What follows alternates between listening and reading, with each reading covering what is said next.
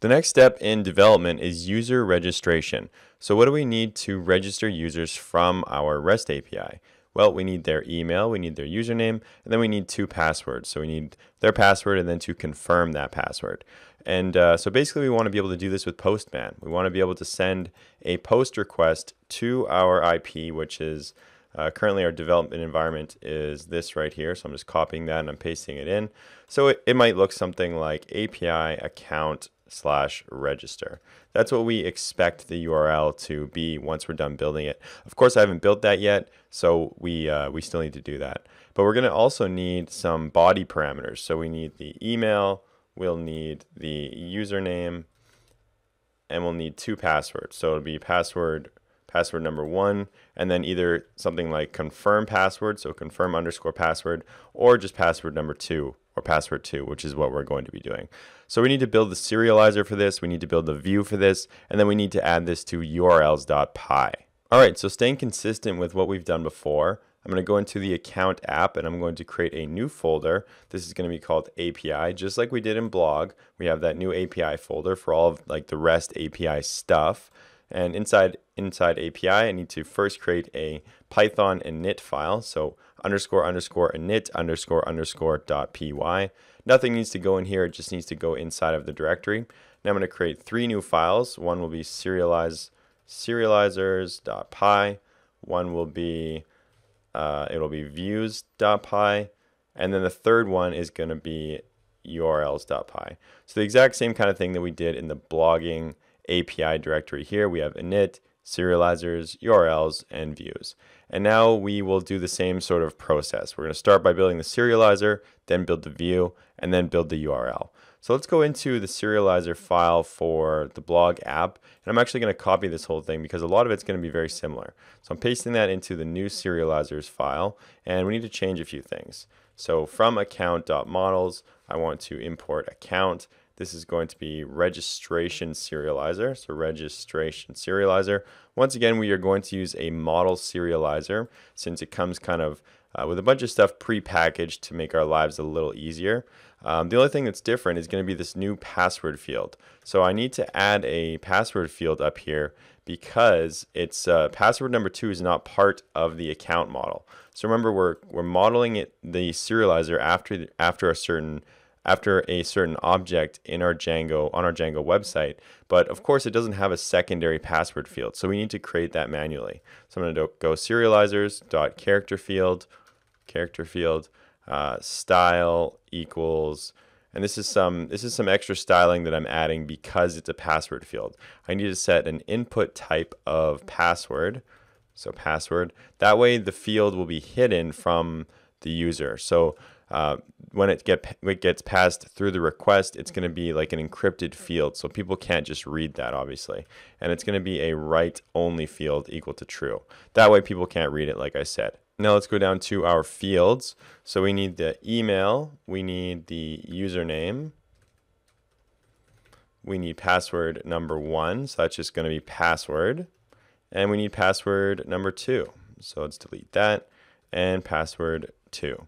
So that's it for our fields. Now the next step is also something different from the previous serializer. I need to create a extra keyword argument field here. So extra key keyword args, and this is going to be password colon, and I want to do the same thing that I did up here. So I'm telling it that this is a write only field. So write only and set that equal to true. And again, this is for security. We don't want people to be able to read this field or this field when it get, gets passed through the request to the server. So we're saying write only to hide the password field and write only here to hide the password number two field. Now, the last step in our serializer is something, again, oh, I need to fix all this spacing.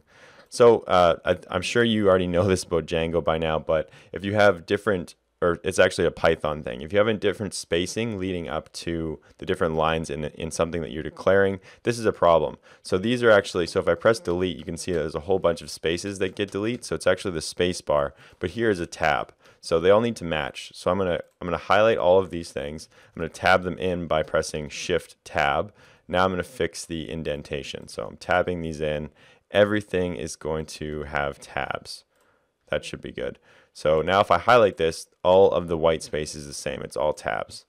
So now, now as I was saying, the last thing we're going to do that's different from this serializer compared to the other serializer that we built is we're going to override one of its methods. And we need to override one of its methods because before we save this new user that we're regist registering to the server, we need to make sure that the two passwords match. So password number two and password number one.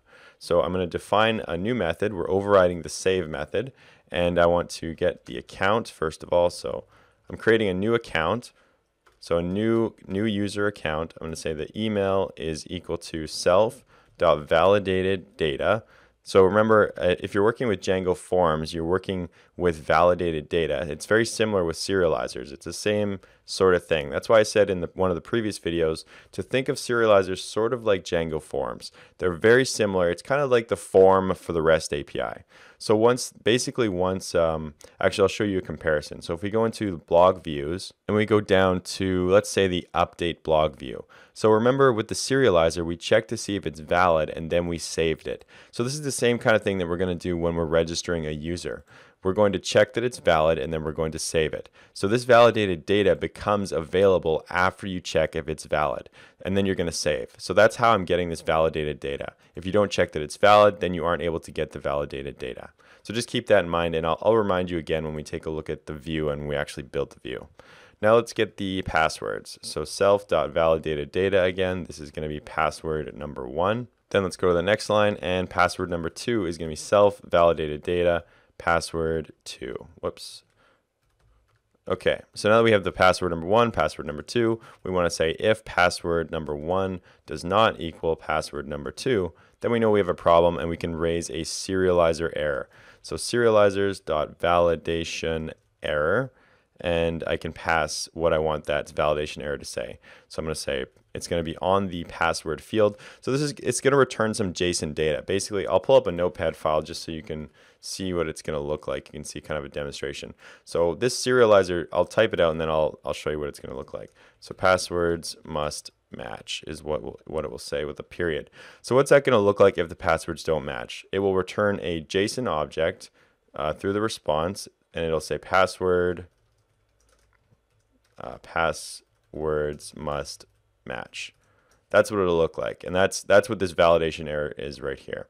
So just kind of a heads up for what that's going to look like, but we'll we'll test all that later so you'll see it actually in action.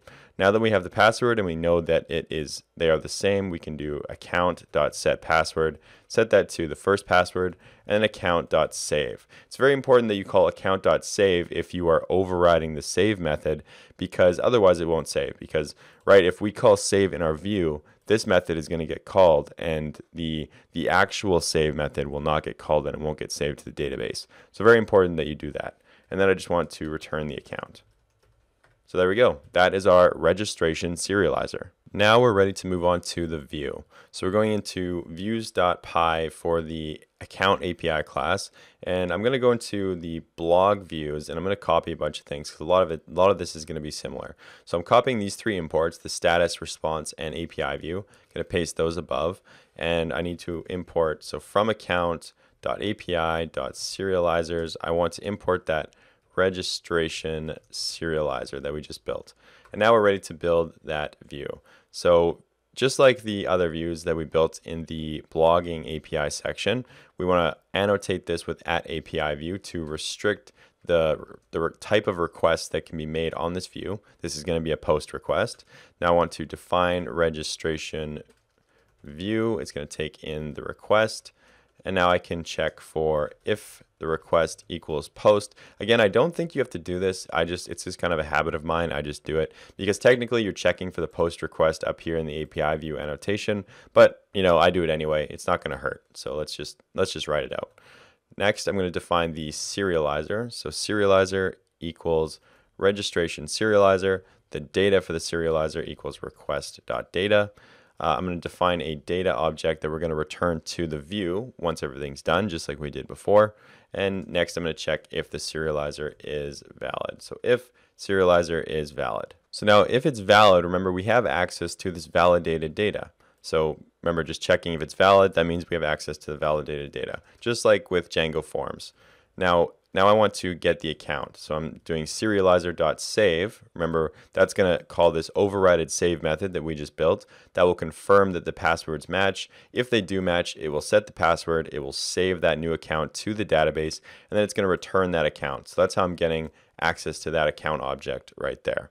Now I want to return a response to the user letting them know what happened. So I'm going to do data response equals you know, successfully registered uh, new user. Uh, and then I can actually copy that line because that'll make things a little easier. This one's going to be email, and it can return the user's email. So I can just do account.email. And I can copy that line again. I can return their username, do account.username. Uh, and obviously, I don't want to return their password, so I'm going to stop there. Otherwise, I want to do data equals serializer.errors. So this, this will return that, that uh, error here if it was raised. So if there was a validation error, it'll say passwords must, must match. It'll get set to the data variable here, and then I will return that response and pass the data. So there's our registration view creating the serializer, checking if it's valid, saving it, which we'll call the overridden save method, which will check to see if the passwords match. If they match, we'll return this successful response. If they don't, then it will return the errors, and it will return it through the response object or the response um, function. So now let's go into urls.py inside of our API view. So from django.urls, import path, and I could have copied this from the other URLs file, but there's not really that much to write in, so I'm just going to write it out. From account.api.views, I want to import some stuff. I just have one view right now, but there's going to be more. So registration view is the first one. And now I want to set the app name. We must do this if we're extending the URLs file. Now URL patterns equals square brackets. And the first one is path this will be register. I'll do registration view and the name is equal to, whoops, not app name, just name equal to register. So that should be good. I could add a comma there. And the last step now is going to be going into the main URLs file. So going into my site and telling it to include these new URLs. So I'm copying that under my REST framework URL section here. This is going to be API slash account. This will be account.api.urls, and this will be account underscore API. And that should be good. I'm pressing Control S. I'm going to bring up my development server. Actually, I don't need the development server. I need Postman. So we're going to Postman. We have the IP here. We have slash API slash account slash register. Now let's enter some, some new stuff. So actually, I will bring up the development server and just show you that uh, there is not I'm going to be registering a new user. So let's go to admin, check the accounts that are here. There's just Jessica, Mitch, and Mitchell Tabian at gmail.com. So let's create a test email. Let's do like test email at tabian.com. The username will be testing email. Password will be password and the second password will also be password. I don't think that it will let me register. Actually, let's let's check to see what it looks like when you try to register passwords that don't match. So let's do that. Passwords must must match. That's good. Let's try it with that password. Successfully registered a new user. Cool. So now let's see what happens when we try to register a user that is already part of the uh, part of the database or in the database. So there's an email that already exists. Account with this email already exists. Account with this username already exists. That shouldn't have printed, but it, it is supposed to print the email, so that's fine. Let's try with a different email. So an email that doesn't exist, but a username that does exist. Account with that username already exists. Cool. So it looks like everything is working as it's supposed to. We can just double check to make sure that user was registered. And there it is right there. Test email. So everything's working as it's supposed to. All right, so everything at this point is working as we expect. We're able to register new users. Now we're ready to move on to generating authentication tokens. Because remember, later on in this course, that's how we're going to authenticate users when other technologies try to interact with the website. They need an, a unique authentication token that they can attach to the header of the request. So we need a way to generate those tokens. So that's what we're going to work on in the next video.